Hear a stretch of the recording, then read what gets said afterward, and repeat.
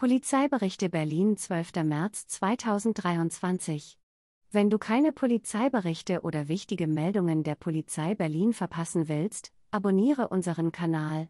Bericht: Versuchter Werkzeugdiebstahl, Festnahme mit Drehleiter.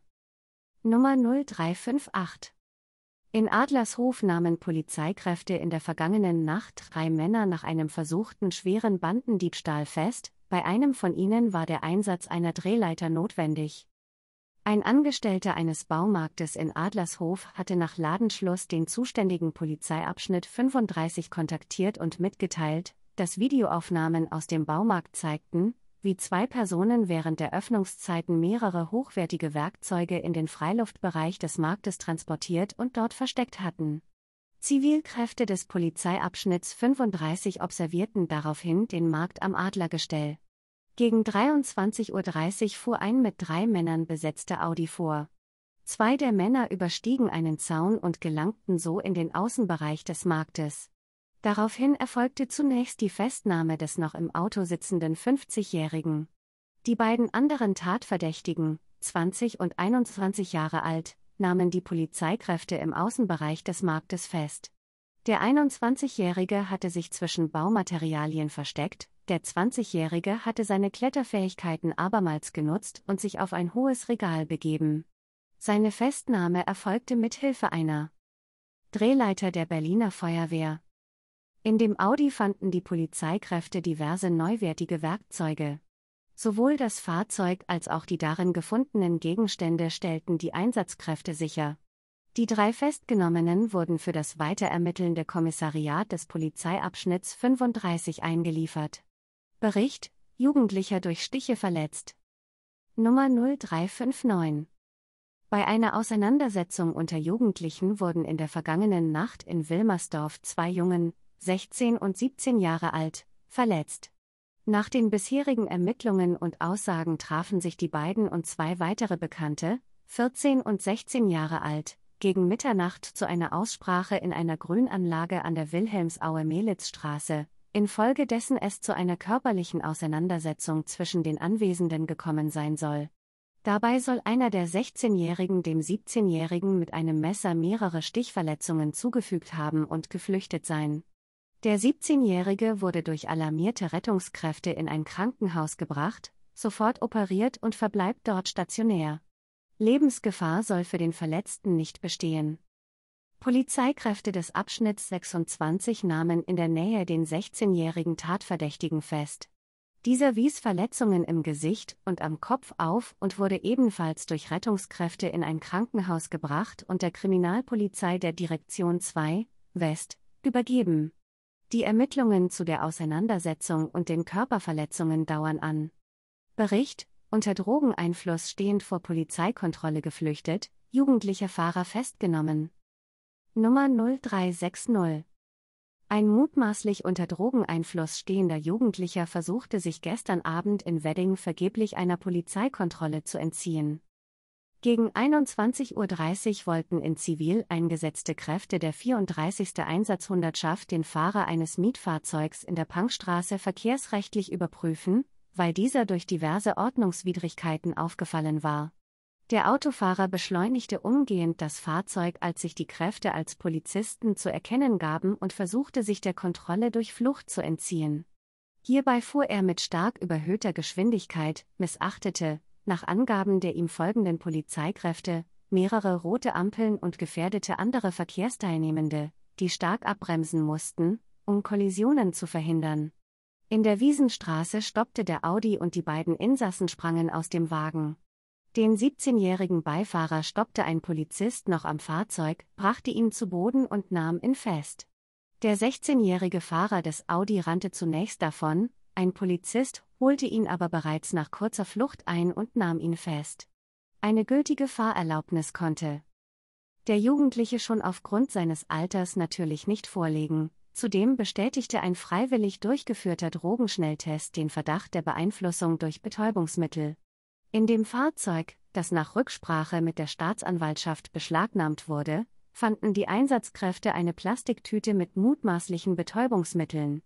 Nach einer Blutentnahme in einem Polizeigewahrsam wurde der 16-Jährige, nach Rücksprache mit einem Erziehungsberechtigten, wieder entlassen.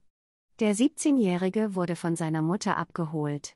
Die Ermittlungen, unter anderem wegen eines verbotenen Kraftfahrzeugrennens, des Fahrens ohne Fahrerlaubnis und unter dem Einfluss von Betäubungsmitteln sowie eines Verstoßes gegen das Betäubungsmittelgesetz, dauern an. Bericht: Seniorin wird bei Brand verletzt. Nummer 0361 Anwohner alarmierten gestern Abend Feuerwehr und Polizei zu einem Wohnhaus in Nikolassee. Nach den bisherigen Ermittlungen brach gegen 20.45 Uhr in einer in der ersten Etage liegenden Wohnung einer 84-Jährigen in der Vonlackstraße in der Küche ein Feuer aus, vermutlich beim Zubereiten von Essen. Das Feuer breitete sich auf eine darüber liegende Wohnung einer 83-Jährigen aus. Diese erlitt eine Rauchgasvergiftung und wurde durch Rettungskräfte zur stationären Behandlung in ein Krankenhaus gebracht. Die 84-jährige und weitere Bewohnerinnen und Bewohner des Hauses blieben unverletzt. Die Vonlackstraße war während der Lösch- und Rettungsarbeiten zwischen Potsdamer Chaussee und Beskidenstraße bis 1.30 Uhr gesperrt. Die weiteren Ermittlungen wegen des Verdachts der fahrlässigen Brandstiftung hat ein Brandkommissariat des Landeskriminalamtes übernommen. Bericht: Kleiner Junge bei Verkehrsunfall verletzt. Nummer 0362 Gestern Abend wurde in Wilhelmstadt ein Zweijähriger bei einem Verkehrsunfall verletzt. Nach den bisherigen Ermittlungen und Aussagen von Zeuginnen und Zeugen befuhr eine 87-Jährige mit ihrem Smart kurz nach 19 Uhr die Charlottenburger Chaussee von Ruhleben kommend in der linken Fahrspur in Richtung Teltower Straße an den Freiheitswiesen und soll bei Rot eine Ampel überfahren haben. Dabei soll der Wagen den kleinen Jungen, der gemeinsam mit seiner Mutter die Fahrbahn an der Ampel überqueren wollte, gestreift haben. Der Kleine stürzte und verletzte sich am Kopf und an einem Bein. Die Seniorin schien von dem Aufprall und Sturz des Kindes nichts mitbekommen zu haben und setzte ihre Fahrt in dem Kleinwagen fort.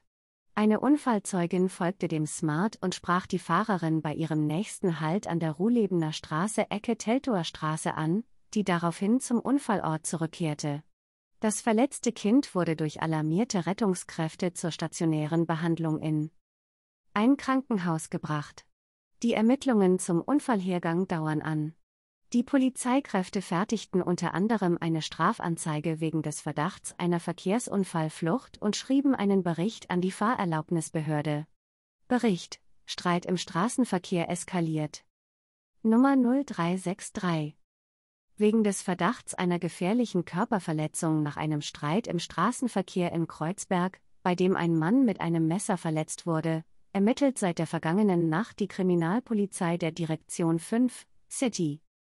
Nach bisherigen Erkenntnissen und Zeugenaussagen soll es gegen 0 Uhr 10 an der Kreuzung Hallisches Ufer Schöneberger Straße zum Streit zwischen zwei Autofahrern gekommen sein, nachdem einer von ihnen, ein 20-Jähriger in einem Opel, sehr stark gebremst hatte, als die Ampel auf Rot umgesprungen war.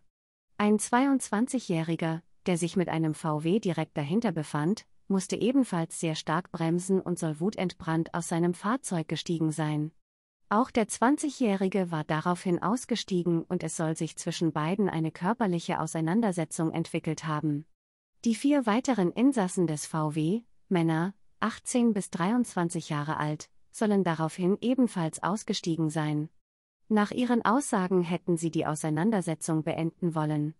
Ein 22-Jähriger aus dem Quartett sei zwischen die beiden sich schlagenden Autofahrer gegangen, soll dann nach eigener Aussage gestürzt und der 20-Jährige auf ihm gefallen sein. Zeugen hatten zwischenzeitlich die Polizei verständigt, die wenig später eintraf. Bei der Befragung aller Anwesenden durch die Polizeikräfte widersprachen diese sich teilweise erheblich. Der 22-Jährige, der nach eigenen Angaben habe schlichten wollen, wurde von den Einsatzkräften auf eine wenige Zentimeter tiefe Stichverletzung in seiner Brust aufmerksam gemacht. Wie er sich diese zugezogen hatte, konnte der Mann nicht sagen. Auch niemand von den anderen Anwesenden konnte oder wollte hierzu nähere Angaben machen. Die Einsatzkräfte fanden in der Nähe ein Messer, auch in der Mittelkonsole des VW lag ein Messer. Beide Messer stellten die Polizeikräfte als mögliche Beweismittel und Spurenträger sicher. Rettungskräfte der Feuerwehr brachten den Verletzten für eine ambulante Behandlung in ein Krankenhaus. Alle anderen Männer, sowie die 42-jährige Beifahrerin des 20-jährigen wurden erkennungsdienstlich behandelt und anschließend wieder entlassen. Die Ermittlungen dauern an. Bericht: Brand auf dem Gelände eines Autohandels. Nummer 0364 in der vergangenen Nacht brannten eine größere Anzahl von Fahrzeugen auf dem umzäunten Gelände eines Autohandels in Schmöckwitz. Gegen 1.15 Uhr bemerkte ein Passant eine Rauchentwicklung auf dem Grundstück am Adlergestell und sah Flammen, die von brennenden Autos auf andere abgestellte Wagen und ein Gebäude der Firma übergriffen. Dabei sollen auch gelagerte Gasflaschen explodiert sein. Verletzt wurde niemand. Alarmierte Brandbekämpfer löschten die brennenden Fahrzeuge und das Gebäude und konnten verhindern, dass das Feuer auf eine angrenzende Tankstelle überging. Mindestens 14 Pkw brannten vollständig aus. Weitere zehn Fahrzeuge wurden durch die Flammen und die Hitzeentwicklung beschädigt. Die Ermittlungen wegen des Verdachts der Brandstiftung dauern an und wurden durch ein Brandkommissariat des Landeskriminalamtes übernommen. Bericht Mutmaßlicher Autodieb verletzt sich bei Verkehrsunfall. Nummer 0365. In der vergangenen Nacht wurde in Tiergarten ein junger Mann bei einem Verkehrsunfall verletzt. Nach den Angaben des 21-Jährigen soll er kurz vor dem Unfall in der Straße des 17. Juni einen abgestellten, unverschlossenen BMW gestohlen haben, den er mit einem im Fahrzeug liegenden Schlüssel starten konnte. Mit dem Wagen befuhr der 21-Jährige gegen 2.50 Uhr die Hofjägerallee vom Großen Stern kommend in Richtung der Kreuzung Stühlerstraße Tiergartenstraße Klingelhöferstraße und fuhr auf einen dort verkehrsbedingt haltenden VW auf, mit dem ein ebenfalls 21-Jähriger und sein 27 Jahre alter Begleiter unterwegs waren. Durch die Wucht des Aufpralls wurde der mutmaßliche Autodieb am Rumpf und am Bein verletzt. Beide Fahrzeuge wurden stark beschädigt. Nach Angaben des VW-Fahrers, der, wie auch sein Beifahrer, unverletzt blieb, wollte sich der Verletzte vom Unfallort entfernen und wurden von den beiden VW-Insassen bis zum Eintreffen von Rettungskräften und der Polizei festgehalten. Der BMW-Fahrer wurde in ein Krankenhaus gebracht und dort stationär aufgenommen. Da er dort angab, Betäubungsmittel zu sich genommen zu haben, wurde in der Klinik eine Blutentnahme durchgeführt. Auch gab er an, keinen Führerschein zu haben. Der BMW wurde sichergestellt. Die Ermittlungen zu dem Diebstahl, dem Verkehrsunfall, des Fahrens ohne Fahrerlaubnis, des Führens eines Fahrzeuges unter dem Einfluss Berauschender Mittel und der versuchten Unfallflucht dauern an und wurden von einem Fachkommissariat für Verkehrsdelikte der Direktion 2, West, übernommen. Bericht Mordkommission übernimmt die Ermittlungen. Nummer 0366 Aufgrund der zwischenzeitlich geführten Ermittlungen zu der Auseinandersetzung unter Jugendlichen in Wilmersdorf hat die siebte Mordkommission beim Landeskriminalamt die Ermittlungen wegen des Verdachts des versuchten Totschlages übernommen. Diese dauern an. Erstmeldung Nummer 0359 vom 12. März 2023. Jugendlicher durch Stiche verletzt. Bei einer Auseinandersetzung unter Jugendlichen wurden in der vergangenen Nacht in Wilmersdorf zwei Jungen, 16 und 17 Jahre alt, verletzt. Nach den bisherigen Ermittlungen und Aussagen trafen sich die beiden und zwei weitere Bekannte, 14 und 16 Jahre alt, gegen Mitternacht zu einer Aussprache in einer Grünanlage an der Wilhelmsaue-Melitzstraße, infolgedessen es zu einer körperlichen Auseinandersetzung zwischen den Anwesenden gekommen sein soll. Dabei soll einer der 16-Jährigen dem 17-Jährigen mit einem Messer mehrere Stichverletzungen zugefügt haben und geflüchtet sein. Der 17-Jährige wurde durch alarmierte Rettungskräfte in ein Krankenhaus gebracht, sofort operiert und verbleibt dort stationär. Lebensgefahr soll für den Verletzten nicht bestehen. Polizeikräfte des Abschnitts 26 nahmen in der Nähe den 16-jährigen Tatverdächtigen fest. Dieser wies Verletzungen im Gesicht und am Kopf auf und wurde ebenfalls durch Rettungskräfte in ein Krankenhaus gebracht und der Kriminalpolizei der Direktion 2, West, übergeben. Die Ermittlungen zu der Auseinandersetzung und den Körperverletzungen dauern an.